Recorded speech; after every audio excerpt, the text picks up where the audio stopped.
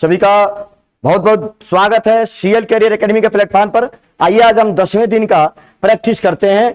दसवें दिन के सुपर फास्ट डिवीज़न इतिहास। पाँच मिनट बीस प्रश्न। पहला प्रश्न।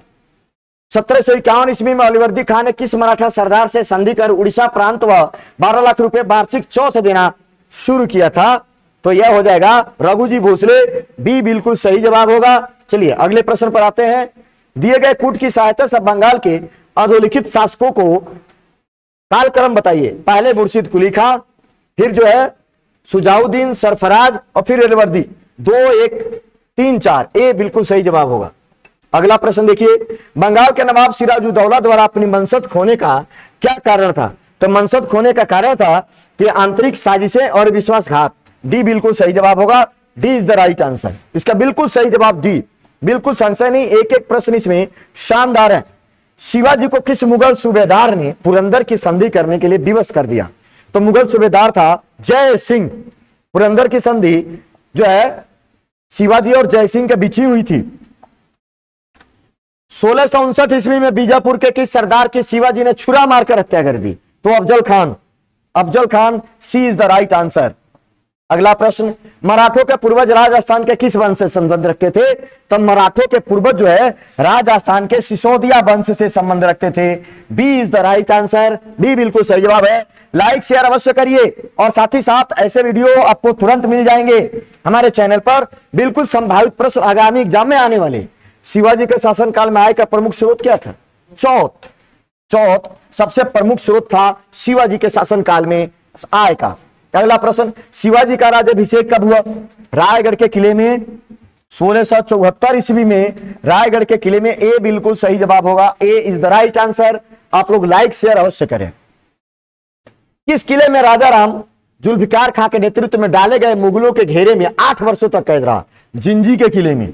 जिंजी के किले में कैद रहा सी इसका सही जवाब होगा। जिंजी के किले में। मुगलों और शाहजी के मध्य संघर्ष किसके काल में शुरू हुआ? तो मुगलों और शाहजी के मध्य संघर्ष जो शुरू हुआ था शाहजहां के समय में समय शुरू हुआ। शी बिल्कुल सही जवाब होगा। चलिए, अगले प्रश्न को देखते हैं। अधोलिखित में ऐसे कौन दो मराठा राजवंश थे जो लगातार एक दूसरे के शत्रु बने हुए थे? तो ऐसे मराठा राजवंश थे जो, वो थे होलकर और सिंधिया। सी बिल्कुल सही जवाब होगा। आपस में लड़ते रहते थे, एक दूसरे के शत्रु थे। मराठा संघ में फूट डालने वाला व्यक्ति कौन है? मराठा संघ में फूट डालने वाला व्यक्ति कौन है? रघुनाथ राव। इसका उत्तर हो जाएगा रघुनाथ राव जो है, मराठा संघ में फूट डालने वाला व्यक्ति है। किस पेशवा ने आत्महत्या कर ली थी? कौन था? कौन पेशवा था जिसका नाम माधव नारायण राव? इसने आत्महत्या कर लिया था। ये याद रखेंगे, बेहद महत्वपूर्ण प्रश्न है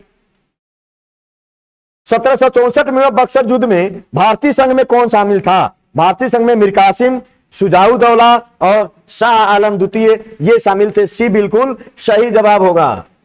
एक दूसरे तरफ़ अंग्रेज़। सिराजुद्दौला के बाद बंगाल का नवाब किसे बनाया गया। तो उसका सेनापति था, उसी के षड्यंत्र रचा था, मीर जाफ़र को बनाया गया सिराजुद्दौला के बाद। बंगाल के नवाबों की प्रशासनिक राजनीतिक भूल नहीं थी। क्या उनकी भूल नहीं थी? हिंदू और मुस्लिम जनता का मत सौहार्द बढ़ाने में सफलता। डी है ना? D is the right answer D इसका बिल्कुल सही जवाब होगा। मुर्शिद कुली खां के विरुद्ध करने वाले जमींदारों में कौन कौन शामिल थे? मुर्शिद कुली खां के। तो ये इसका उत्तर हो जाएगा एक, दो, चार, है ना? सी। सी इसका बिल्कुल सी, सही जवाब होगा। एक, दो, चार। मुर्शिद कुली खां के, विरोध, विद्रोह करने वाले जमींदार। यहाँ पर हो जाएगा विद्रोह। विद्रोह करने वाले जमींदारों में ये तीन सब तीनों जमींदार ने विद्रोह किया था। बंगाल के मीर कासिम और अंग्रेज़ों के मध्य विवाद का मूल कारण क्या था? व्यापार को लेकर तो था ही, और साथ ही साथ सबसे प्रमुख कारण था उन्होंने मुर्शिदाबाद से अपनी राजधानी मुंगेर स्थानांतरित की थी मीर कासिम ने। तो ये मूल कारण बन गया। पुरंदर की संधि के संबंध में अधोलिखित में असत्य कथन बताइए। तो इसमें असत्य कथन हो जाएगा, संधि के परिणाम स्वरूप शिवाजी ने मुगल आधिपत्य स्वीकार कर ली। बिल्कुल नहीं। संधि में ऐसा कोई बात नहीं था, उन्होंने आधिपत्य स्वीकार नहीं की थी। यह असत्य है। किस मुगल सूबेदार ने दक्षिण में शिवाजी को पराजित किया। तो इसका उत्तर हो जाएगा जय सिंह। और इन्हीं के बीच पुरंदन की संधि हुई थी जय सिंह और शिवाजी के बीच। चलिए, आज के लिए इतना ही। आप लोग इसको नोट करिए, लिखिए और इस पर अच्छे से जानकारी लीजिए। प्रतिदिन हमसे जुड़िए। कल फिर मिलेंगे। जय हिंद, जय भारत।